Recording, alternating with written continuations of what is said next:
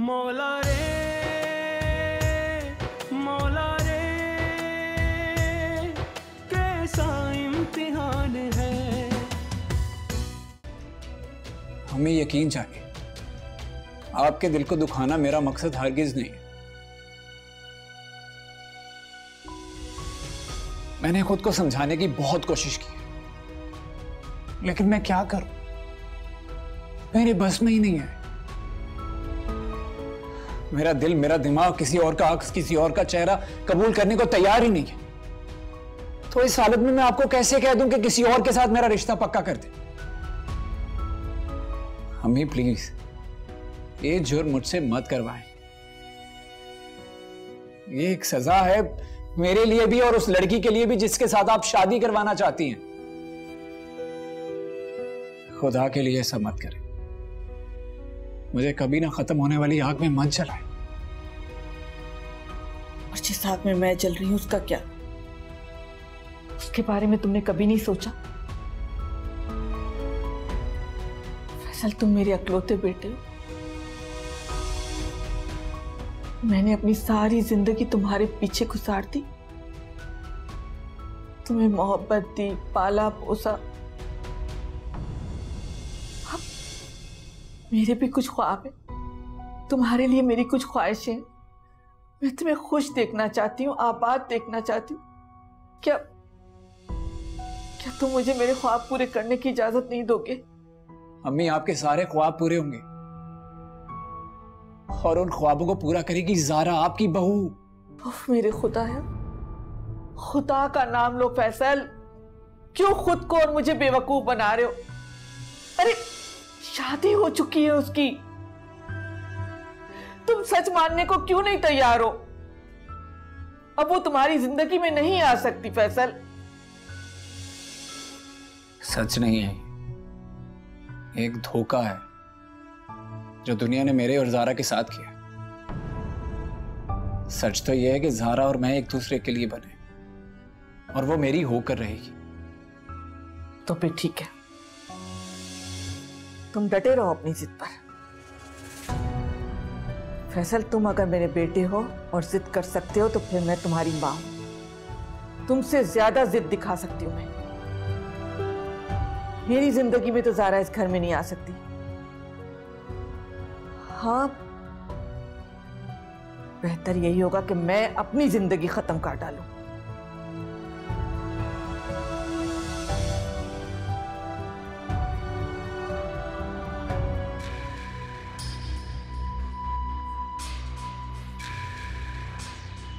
कितनी देर हो गई? अभी तक नहीं आई।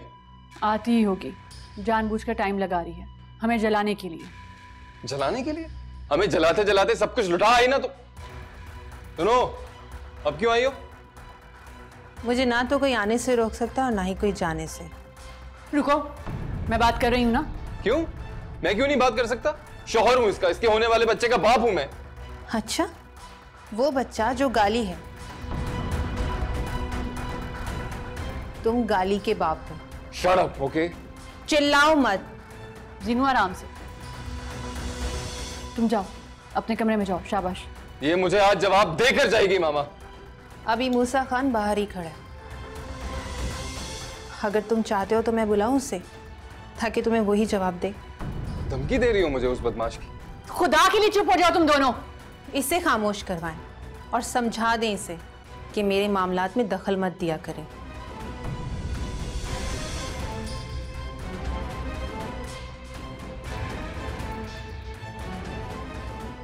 देख लिया आपने? बहुत तेज दौड़ रही है। ये इसके मुँह के बल गिरने का वक्त आ गया है। इसका अंजाम मूसा खान है। और ये अंजाम बहुत भयानक होगा।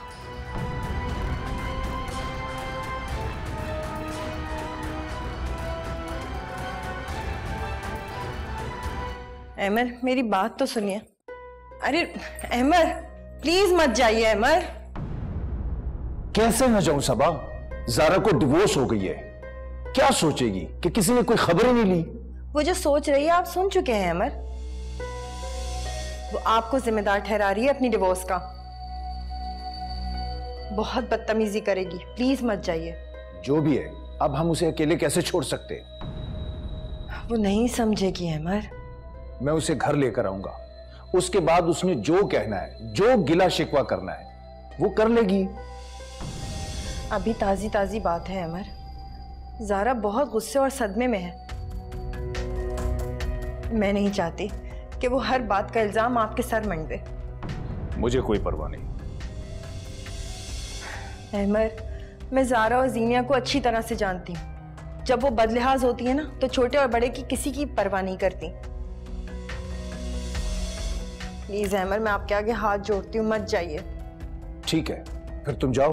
जीनी और जारा को ले आओ। मैं यूँ उन दोनों को परेशान नहीं देख सकता। अहमर लावारस नहीं है। हम माँ बाप हैं उनके। उनके मसाइल हल करना हमारा फ़र्ज़ है।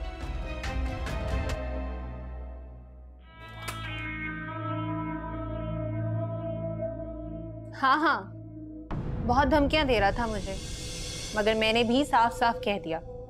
कि मेरे और मूसा खान के प्यार के बीच में जो भी आएगा मैं उसे पैरों तले रौन कर आगे बढ़ जाऊँगी। और तो और उसने मुझ पर हाथ उठाने की भी कोशिश की मगर आंटी ने बीच में आकर बचा लिया। आखिर उन्हें भी तो अपने पुराने आशिक मेरा मतलब है कि मेरे सौतेले बाप का डर था। कितनी घटिया हो तुम। मेरी माँ के किरदार पर कीचड़ उछाल रही हो। सच कह रही हूँ। जो तुम्हें कड़वा लग रहा है। मैं उस मूसा खान की जान फ़ोन बंद है तुम्हारा? सिर्फ़ मुझे सुनाने के लिए ये सब किया तुमने? देखा कितनी खूबसूरती से मैंने तुम लोगों को तुम्हारी औकात दिखा दी। मत भूलो तुम।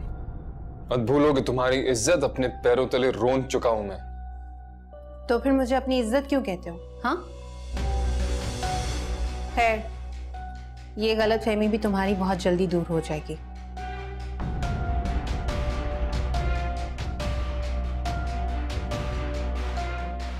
ख्वाब देखने में कोई पाबंदी नहीं। देखती रहो।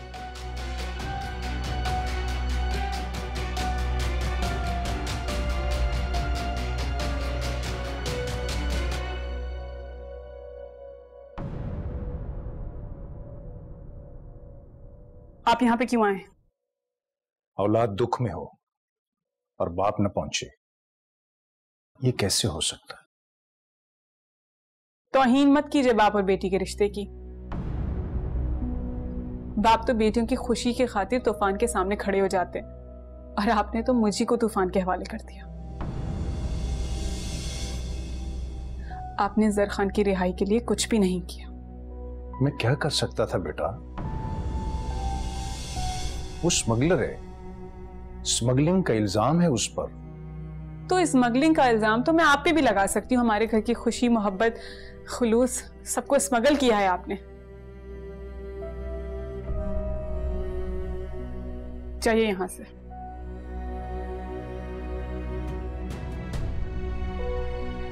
तुम जो इल्ज़ाम लगाना चाहती हो लगा लो जारा। तुम्हारे घर से जो भी चुराया तुम्हारी खातिर, जीनिया की खातिर। अपनी मोहब्बत तले जमा कर रखा है। चलो मेरे साथ। मेरा वादा है, तुम्हें तमाम नेमतें मिलेंगी। माँ की मोहब्बत, बाप की शफकत। जारा, कुछ तो इंसाफ करो। मुझे किसने इंसाफ दिया? कुछ याद है आपको? मामा की मोहब्बत ने तो आपसे आपकी यादाश्त छीन ली है। सब याद है मुझे। इसलिए तो तुमसे इंसाफ मांग रहा हूँ। बताओ मुझे जो कुछ तुम्हारे साथ हुआ उसमें मेरा क्या कसूर है? बहुत दौलत है ना आपके पास? दौलत से कुछ भी खरीद सकते हैं आप। शौहर से बीवी, बेटियों से माँ। तो मेरी मोहब्बत का तावान भी अदा कर देते आप। तो आज स्मगलर की बीवी और तलाक याफ्ता होने का दाग तो नहीं लगता मुझ पर जारा तुम सिर्फ़ मेरी बेटी हो। सिर्फ़ मेरी बेटी। जारा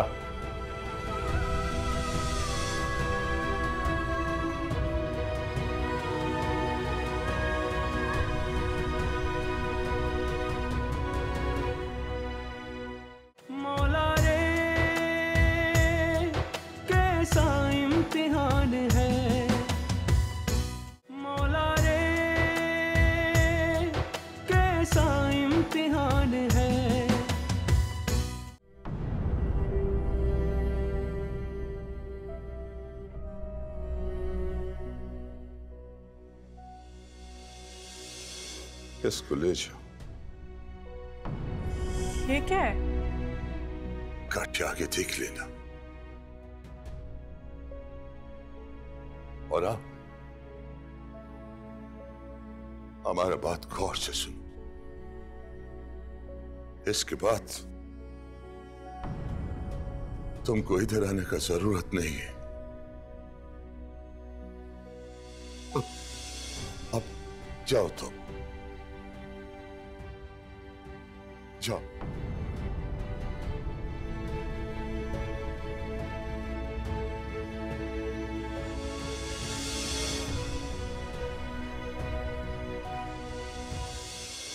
अहमद तुम इस वक्त?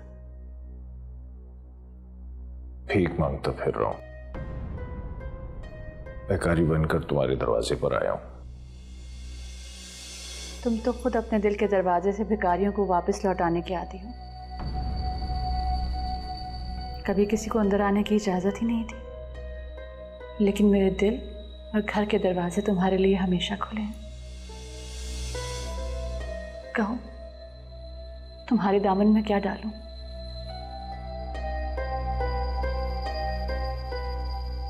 मेरी इज़्ज़त। अहमद? वो इज़्ज़त जो तुम्हारे बेटे के हाथों बर्बाद हुई। अहमद? ये मत भूलो कि मेरे बेटे ने उसे इज़्ज़त दी भी है अपनी इज़्ज़त बनाकर। लाश को कफन में लपेट कर उसे ज़िंदा नहीं किया जा सकता। मैं जीनिया को लेने आया हूँ। क्या मतलब है तुम्हारा? हमेशा के लिए? लाश को कुछ अरसे के लिए सर्द खाने में रखा जा सकता है। आखिर तो उसे कब्र के लिए लौटाना ही पड़ता है। तो तुम मेरे घर को अपनी बेटी की कबर कह रहे हो? लुटी भी तो इसी घर में ही है ना। तो दफन भी यही होगी। जीनिया अपने कमरे में है। जाओ मिल लो। और अपनी बेटी के साथ जो फैसला करना चाहते हो कर लो।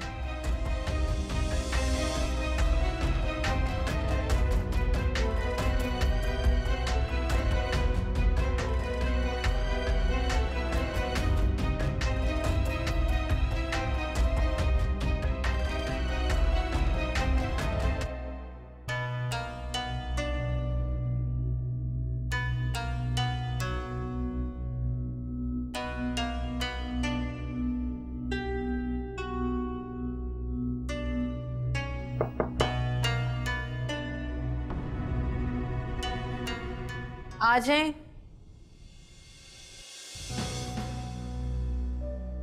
आप यहाँ?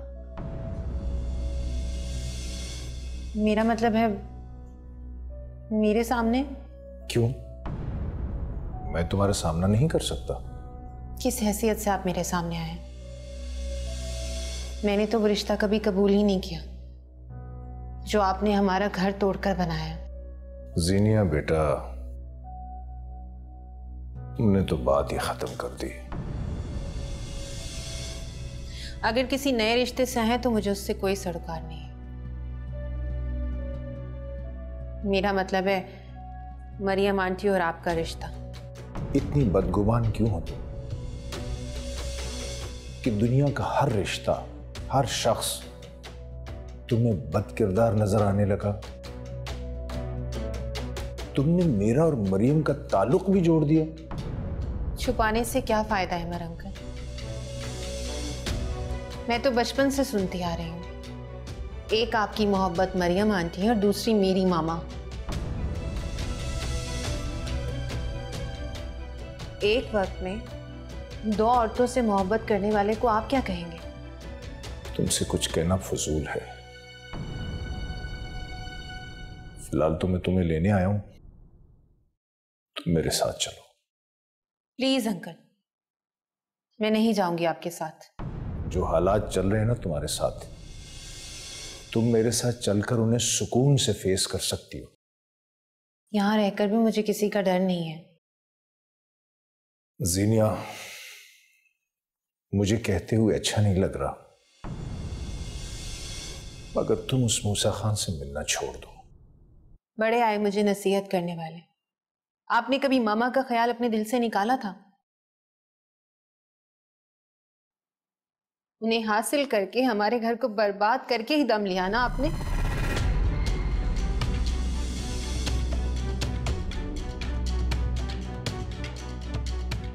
मगर तुम खुद को बर्बाद मत करो। बाबर को माफ़ कर दो। शौहर है तुम्हारा। इसी बात का तो दुख है। आज मेरी जगह अगर आपकी अपनी बेटी होती तो बाबर का गिरेबान आपके हाथ में होता।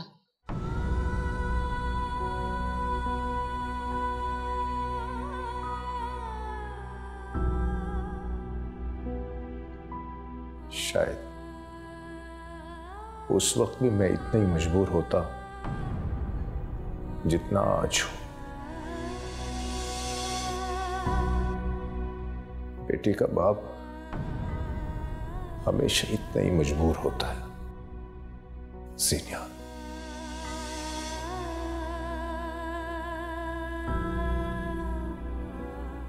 प्लीज़ तुम चलो मेरे साथ। आप मुसलसल अपना वक्त बर्बाद कर रहे हैं। मैं आपके साथ हरगिज नहीं जाऊँगी। प्लीज़ चले जाएँ यहाँ से।